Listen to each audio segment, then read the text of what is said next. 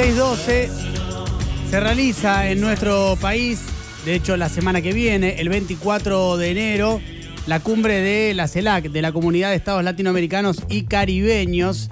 Tendrá la presencia de destacados líderes internacionales, entre ellos el flamante presidente del Brasil, Luis Ignacio Lula da Silva. Estamos en comunicación por este y otros temas con el canciller de la República Argentina, con Santiago Cafiero. Santiago, ¿cómo te va? Buenas tardes, ¿cómo andás? ¿Qué tal? Buenas tardes, Diego. Bien, che. Gracias por atendernos. Eh, primero, ¿cuál es el, el, objetivo de esta cumbre? ¿Cuáles son los principales intereses que tiene la Argentina en la realización de esta cumbre? La cumbre de, CELAC, o viste, tenemos todo, eh, tenemos todo, tenemos, este, viene primero la visita oficial de Lula, que el 23. Es, muy relevante, es muy significativa, que es el 23, su primer viaje internacional, elige venir a la Argentina, eh, hacer un, acuerdo para relanzar la relación bilateral, nuestro principal socio comercial, nuestro, nuestro socio estratégico eh, por naturaleza, que es Brasil. Eh, para nosotros eso es, clave, digamos. Y luego también lo que dijiste, ¿no? La, posibilidad de que Lula esté aquí en la Argentina, también participando de la vuelta de Brasil a, la CELAC, al mecanismo eh, más extenso que hay hoy y más representativo que hay hoy en América Latina y el Caribe, porque están los 33 países de América Latina y el Caribe allí en, lo que es la comunidad de estados latinoamericanos y caribeños. Con lo cual, Brasil que había estado ausente anteriormente de, la CELAC, bueno, ahora vuelve como miembro pleno a participar y con la, y con la visita de Lula, eso como bien dijiste, se va a poner en, valor y va a cobrar un, este, una tonalidad que, efectivamente va a ser muy resonante, porque en tiempos de tanta incertidumbre, mostrar que América Latina y el Caribe es una zona de paz, es la zona de paz más densamente poblada del mundo, en este tiempo de guerra, América Latina y el Caribe da un testimonio de hermandad, pero también da un testimonio de diálogo político, de que apuesta siempre al diálogo político independientemente de que haya diferencias, eh, y cultiva lo que es eh, lo que la Argentina lleva adelante, la cultura del encuentro. Por eso para nosotros es, relevante seguir estimulando, más allá de la responsabilidad que tenemos a partir de la presidencia de la CELAC, la, responsabilidad que nos confiaron el resto de los países de la región, lo cierto que también es algo que, que desde la Argentina también practicamos como parte de nuestra política exterior, siempre eh, condenar a aquellos que usan la fuerza eh, para, imponer ideas y, siempre valorar la utilización de la palabra para resolver conflictos. En esa línea, eh, en la cuestión de la organización colectiva de varios países, hay una idea que viene dando vueltas, que se viene comentando, Em, que quería saber cuál era tu opinión o, la opinión de la Cancillería Argentina al respecto, que es esa posibilidad en algún momento de desarrollar una moneda común eh, en, el Mercosur o tal vez una moneda común con Brasil, algo como ya tiene hace tiempo la, Unión Europea, por ejemplo. ¿Crees que es algo factible? ¿Crees que es algo deseable? ¿Algo que debería trabajarse en el tiempo? ¿Cómo, lo ves?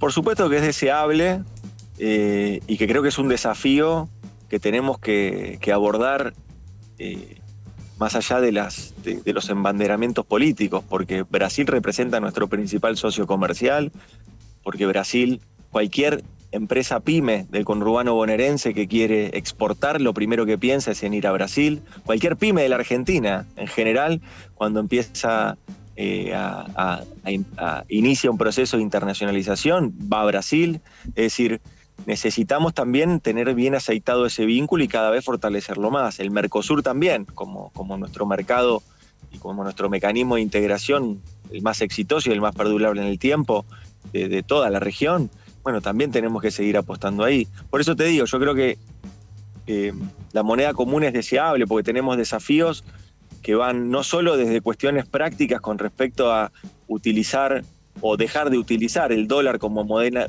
de intercambio entre nosotros, sino también creo que es eh, esencial eh, cobrar autonomía desde el punto de vista financiero eh, a la hora de, poder tener elementos de financiamiento que vayan más allá de los tradicionales y permitan generar obras de infraestructura que, promuevan la integración, pero que también promuevan la producción y el empleo y la generación de trabajo, obras estratégicas, como pueden ser las, aplicaciones para la tecnología nuclear o como pueden ser también, eh, no sé, toda la tecnología espacial eh, o, la realización de, de clúster para el sector farmacéutico, las vacunas, es decir, cómo vamos cobrando mayor autonomía, mayor soberanía, ya ahora con una mirada regional.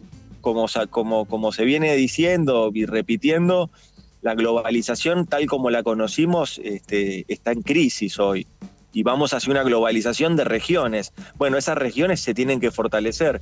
¿Qué más que en este Brasil donde hay una cercanía ideológica y política y emocional, te diría, entre ambos presidentes para, para poner en valor todo lo que se ha hecho, pero por sobre todas las cosas para poner en, los carriles necesarios para que esto avance con mayor velocidad. Estamos hablando con el canciller eh, Santiago Cafiero. Santiago, con respecto a eh, las presencias, destacábamos recién la de Lula, entre otros presidentes, por supuesto también vendrá el presidente de Uruguay, el de Chile eh, y demás países integrantes de la CELAC, como bien vos decías, son 33, pero también habrá algunas ausencias. en este caso, por ejemplo, no, no va a asistir Dina Boluarte, la presidenta de Perú, mientras vemos que en Perú en estos momentos hay fuertes manifestaciones, masivas manifestaciones, intentando eh, llegar a Lima en protesta por eh, la destitución de Pedro Castillo por parte del Congreso y la asunción de Dina Boluarte justamente por ese mismo mecanismo, a través del Congreso. La posición argentina con respecto a los hechos de, Perú, ¿cuál es?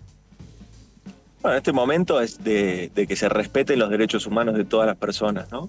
Eh, de que haya respeto de los derechos humanos hacia Castillo, hacia su familia, pero también hoy hacia, hacia todos. Eh, la Argentina tiene una mirada de pacificación con respecto a este tipo de acontecimientos que están sucediendo en, Perú.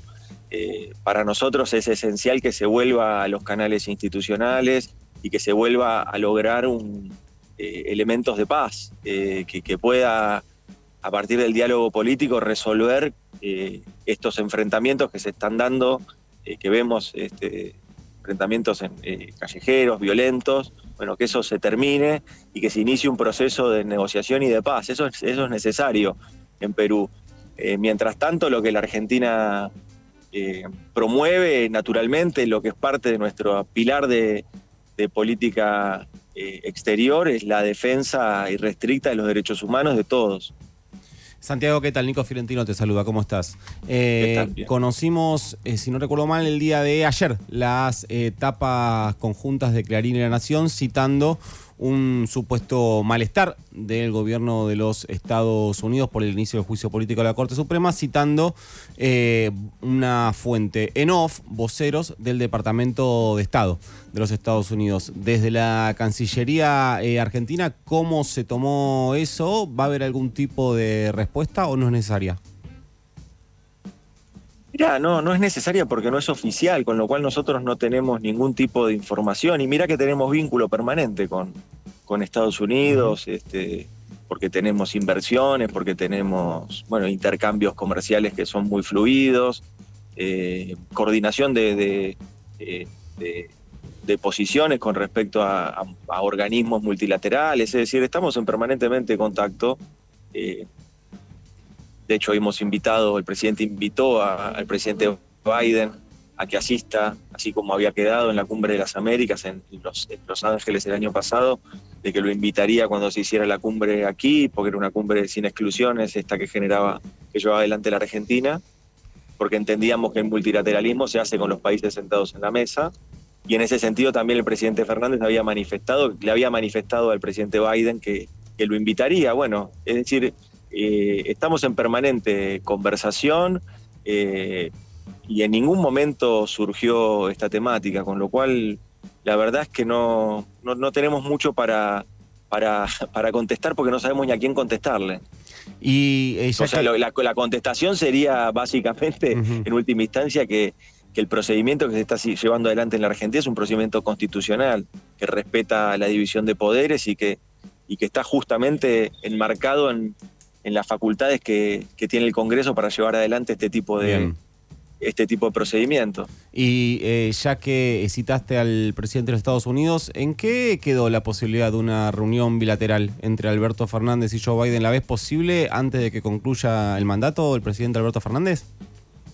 Bueno, eh, Mira, el, eh, era como, como, como fue de público conocimiento, había una fecha prevista para esa reunión, el presidente Biden contrajo coronavirus, entonces suspendió la agenda por casi un mes o más, y esa reprogramación aún no, no surgió. Entonces, bueno, nosotros estamos expectantes, nos parece importante, este año se cumplen 200 años de relaciones diplomáticas con Estados Unidos, con lo cual vemos propicio también que haya un diálogo con, con, Estados Unidos, con el gobierno, pero también por sobre todas las cosas con teniendo en cuenta que, hay un gran vínculo no solo cultural, sino también económico con Estados Unidos. La, eh, empresas destacadas que, llevan adelante eh, eh, grandes inversiones en nuestro país son de capitales norteamericanos, con lo cual también nosotros tenemos que prever que esas son las también empresas que están dando trabajo en Argentina, y por eso queremos cuidar siempre todas las relaciones diplomáticas.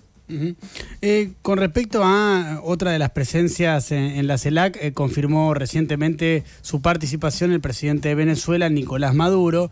La presidenta del PRO, Patricia Bullrich, eh, tuiteó hace un rato, si Nicolás Maduro viene a la Argentina debe ser detenido de manera inmediata por haber cometido crímenes de lesa humanidad, tal como ocurrió con Pinochet en Londres en 1998.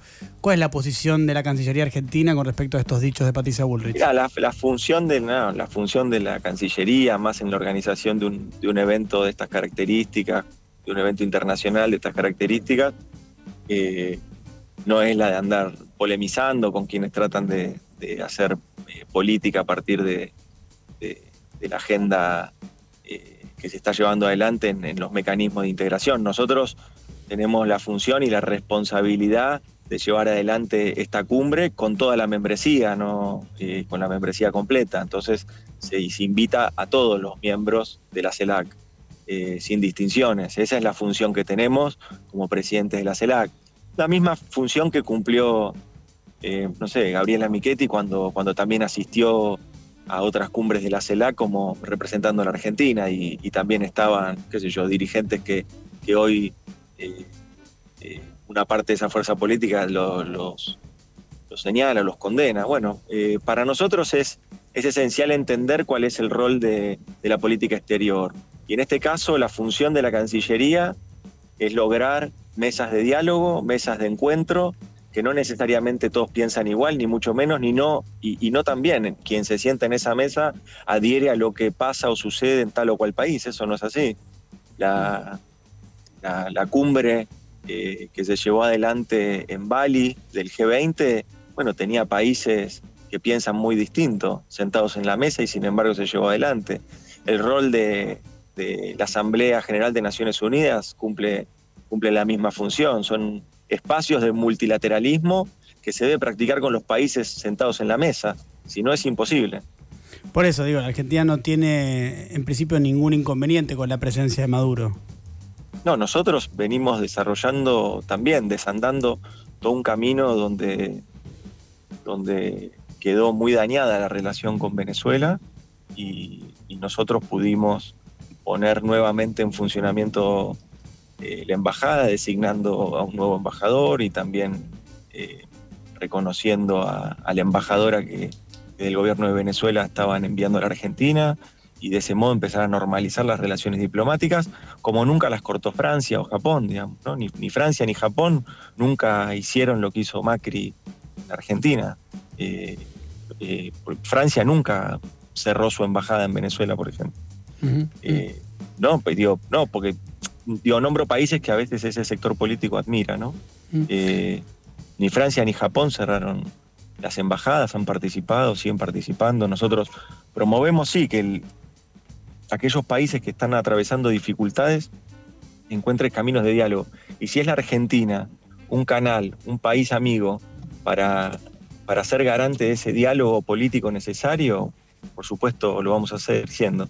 Como lo hicimos ahora recientemente en, en la cumbre de la paz que se desarrolló en París, donde, pudimos con el presidente Petro eh, de Colombia y con el presidente Macron de Francia participar también de, los diálogos políticos que se están llevando adelante.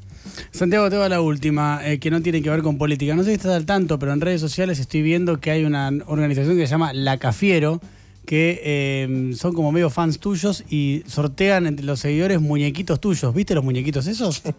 Sí, son bastante bizarros, pero bueno, quiero descalificar a los compañeros a, que, a, los que no conozco, no los sigo, no los sigo en, las redes tampoco, pero, pero me causaron gracia cuando me lo mandaron algunos compañeros, me mandaron este, la fotito del, muñeco, me parecieron un tanto bizarros, pero bueno, qué sé yo. Pero Allá ellos les agradezco de todo modo que, que, que, me acompañen con, con, las publicaciones y eso, con lo cual este, más allá de que el muñeco es bastante feo, pero bueno, no importa.